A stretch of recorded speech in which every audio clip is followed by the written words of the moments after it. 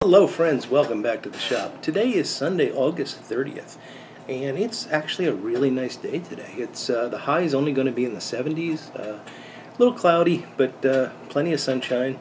And uh, yeah, I'm I'm, uh, I'm really enjoying the day so far. I spent a lot of time out back this morning. Uh, had a cigar and some coffee, and read the newspaper. Really just kind of took it easy. came down here and messed around in the shop a little bit smoking my J Mouton uh, with Haunted Bookshop. But when I was down here earlier, I had some uh, some Autumn Evening, Cornell and Diehl Autumn Evening, which is one of the aromatics I, I enjoy, and I usually will smoke a bowl of that a couple times a month. Uh, usually on a weekend morning when I'm down here working the shop. And then I went up, uh, my wife got up and uh, she made a, a nice brunch for us. And I came back down here to make a video and it smells like a pancake house here. So Quite interesting. But yeah, it's a really nice day. I'm going to probably not do much more in the shop today. A little bit of cleanup. And might try to get a couple of uh, yard type things done. Uh, although I really kind of need a day off, so I don't know how much I'm going to do. Just recharging the batteries for, for the week ahead. Uh, so, cup, couple of things. I, what I finished up this morning, I thought you might be interested in this. These are funny bits. Um, friend of mine named Joe really enjoys these bits. Um, I think that's the right orientation for them. And they got this this extra lip here on the bottom, and then on the top there's this serration. And apparently they're really good for folks that have dentures.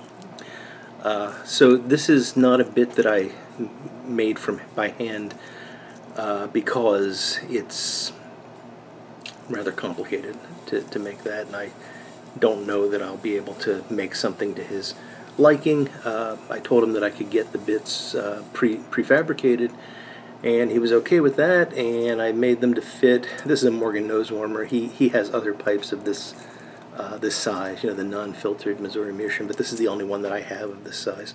But, uh, you know, make it to fit this, it'll fit all his pipes. And it, it's a lot of work in this, believe it or not. You know, it sounds easy, but I got to turn the tenon down. Uh, there we go. He got two of them.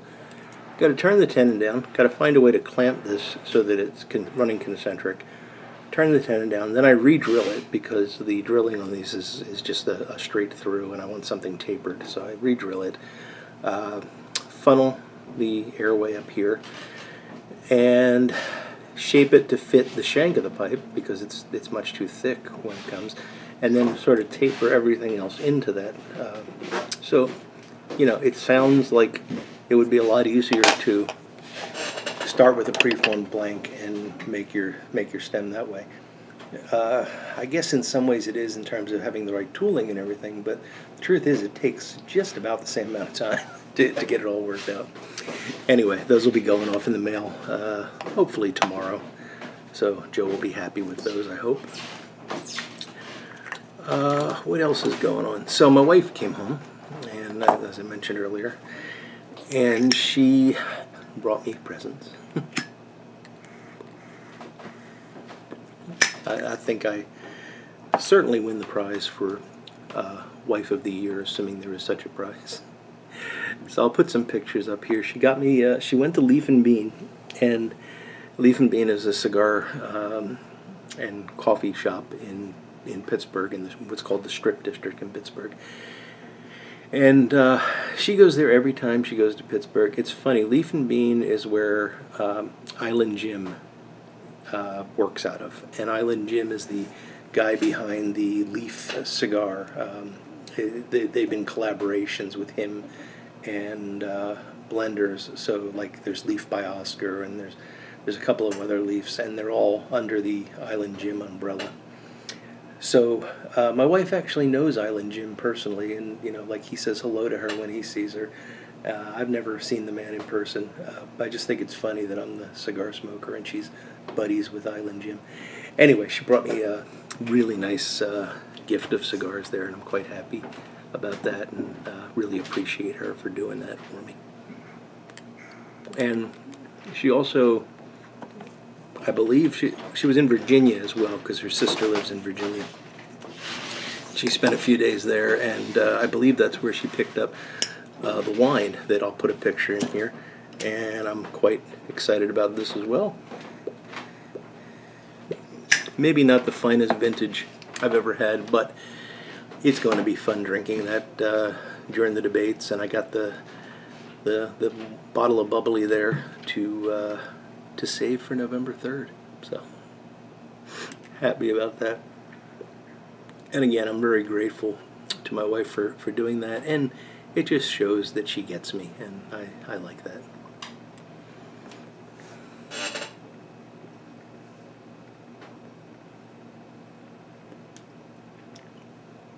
The other thing I wanted to show off, we're doing a show and tell version of, of the weekend chats today. Boy, the smoke is getting bad in here, and I don't know why. I've, I haven't changed anything. I still have the air cleaner running, but it, it just seems to be hanging around a lot more. No, I'd have to get. Uh, I said this the other day. I might have to get a fan to uh, to move it away because it's starting to really mess up the the image. Now you probably don't want to see me anyway. Uh, the other thing that I'm very grateful for is I was contacted by uh, my friend Brian, and I think Brian on YouTube goes by Brian Q. I might be wrong about that. Um, I'll check and, and uh, put it down in the description if I, if I am wrong. But Brian got in touch with me. Um, he lives up in Canada, and he said you know, he was a fly tyer. He you know really enjoys fly fishing, but he doesn't tie flies anymore. And he had some material and asked me if I'd like it, and you know I said sure. I never never turned down fly tying material. Um, and I was expecting you know a, a little envelope to come with some feathers and such in it. Well, what Brian sent me was a box like, you know, a big box like that, maybe. Um, just packed with fly tying material. Uh, some materials that I've, I've, you know, I knew what they are, but I've never had them. Uh, like guinea hen, I've, I've just never had a need for it, but I can't wait to try to find some patterns where I can use it. Uh, all sorts of, of, feathers and furs and, and uh, lots of uh, yarns and things like that. And I use a lot of yarns in my fly tying. I'm just super excited about this. It was so kind of uh, Brian to do it. But he threw in two vices, which really surprised me. And you guys don't know this because it, it's, you know, this is a pipe channel and I don't really talk about my fly fishing or fly tying all that much. Although I might change that. Might start doing a little, little fly tying on, on YouTube. Uh, but he, I, I, collect Thompson vices. I, have uh, been doing this for a long time now. I don't have, you know, I don't like collect 20 at one vice. I, I just, I just wanted to get one of each one in the series. And the Thompson vices were lettered. The most common one, if you're familiar with the Thompson vice, is probably the Thompson A. And I have one of those, and I've got knockoffs of those. And actually, the one of the vices he sent me was a Sunrise vice, which is a a version of the Thompson A. Very nice with a material clip and everything. It's a great, great looking vice. But the other one uh, is a Thompson C, and I did not have a Thompson C. I had the A, the B, uh, the E, the F, and the G. I don't think I had the C or the D. Um, it's been a while since I've looked at these. One of one of those is is a different mounting version of, of the other, so I never really wanted to look for that. But the C was the one that I was really hoping to get. And it's not that they're you know terribly rare, but you know it, it's it's not something that I I like to wait for them to come to me. Basically, I like to see them at a yard sale or something like that. I don't like to just go out on eBay and find them. Anyway, this vise came to me, and it's in beautiful condition. It is a Thompson C, and it's got the uh, clamp-on mount, so you can clamp this to the edge of your table. This uh, foundation is just rock solid. It's a cast iron um, frame. It does not move at all. Similar to the Thompson B, which is actually my favorite fly tying vise. Uh, I know people would find that odd uh, because it's it's lacking in so many features that the modern vices have. But man, if you want something that's just going to grab onto your hook and not move, the Thompson B is it. And looking at this, I think the Thompson C might be a, a close uh, contender for that as well. And I'll show you how this works. So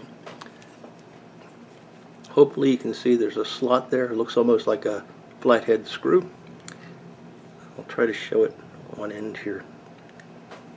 If I can get that focus a bit better. It doesn't want to focus a bit better. Well, anyway, there's a slot in here. I think it's easier to see that way. And when I turn this, that slot closes up. And it, it closes up very nicely. So this is going to have some, some really good holding power. Uh, I'm, I'm really looking forward to trying it out. Uh, Thompson C. Thank you, Brian. I'm, I'm really thrilled to have this in my collection. So now I'm going to have to do a video on my vice collection, and I'm going to have to do videos on fly tying and all that, which I, I've been thinking about for a while. I got, you know, that area in the pipe section of the shop where I do videos sometimes. I got that area with the wall with the Eagles uh, thing on it. I want to put a desk against that wall, and it'll be multi-purpose. But one of the things I could do there is, is some fly tying. So that's the that's the plan if I ever have time to actually work on the shop instead of work in the shop. And to that end, uh, we're getting there. I am uh, real close to being caught up, which I'm happy about. And what I think I'm going to be doing See, the problem for me is if, I, if I've got 15 pipes in, in my shop and I can only work on one at a time, that means that there's 14 people that are just sitting there waiting. Um, and granted, some of those 15 pipes are going to be groups. You know, some people send me three pipes or four pipes, but but you get the idea. There, there's going to be a lot of people that are just waiting. And if I'm if I get busy, if um, one of the pipes turns out to be particularly challenging, you might be waiting for months to get your pipe back. You might be okay with that, but it makes me nervous. You know, I don't want people thinking that I'm I don't care about them, that I'm not uh, giving their pipe attention. Uh, it's it's not true, but but I don't want people thinking that regardless. So what I think I'm going to do is I'm going to go to a model where I'm going to have a waiting list, and if you want to get on that waiting list, that's fine. When I finish up a pipe, I will contact the first person on that list.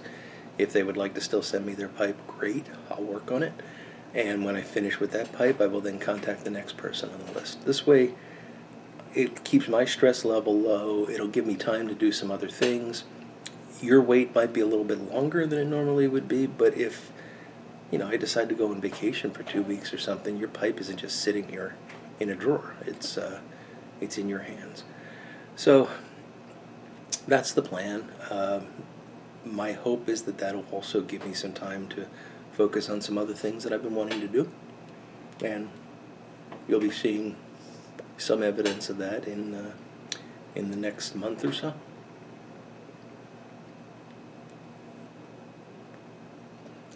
And there you have it.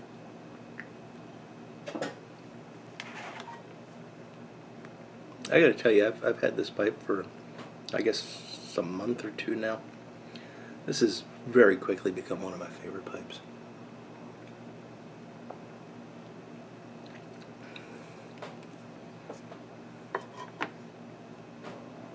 I mean, it, it's it's a great looking pipe. There's no no debating that. But the engineering of it, Jason really has the engineering down. Um, it, the draw is perfect.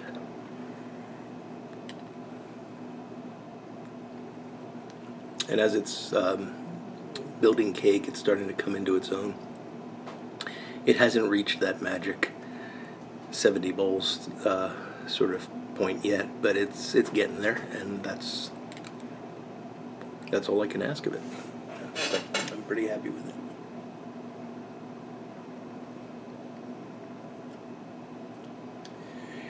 So, last thing I want to talk about today is uh, if you were around last Wednesday at, at noon, you know I did a, uh, sort of test live stream. And the reason I'm doing this is I'm, I'm trying to get I'm trying to do some things that'll make the Friday night live streams better. And to do that, I needed different hardware and different software.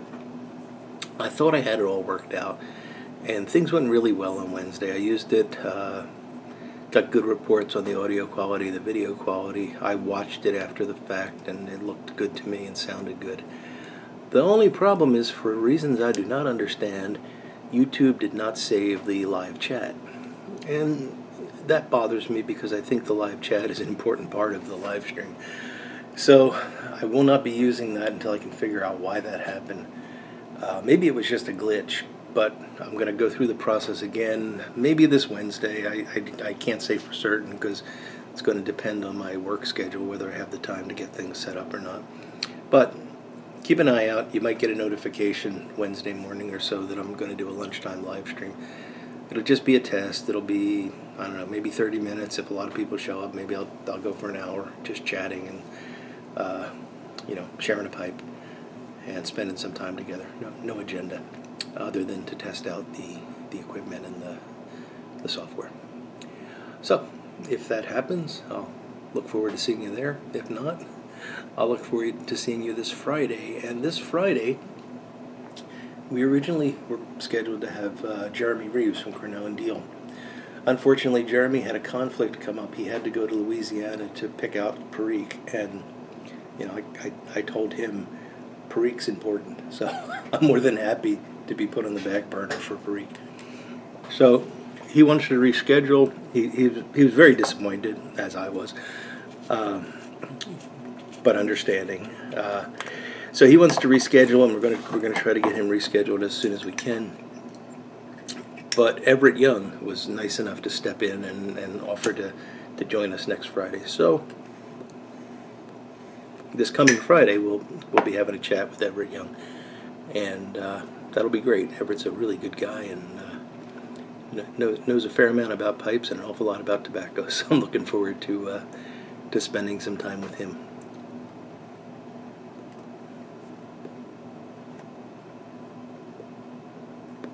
Well, folks, I think that's about everything I had, and my bowl is coming to an end. So,